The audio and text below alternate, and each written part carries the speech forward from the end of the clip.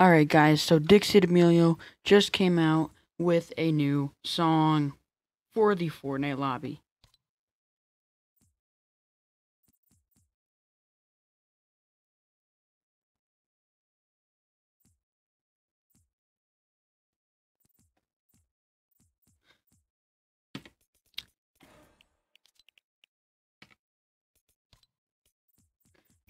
Alright, guys, Dixie D'Amelio just came out with a new song for the Fortnite lobby. Here it is.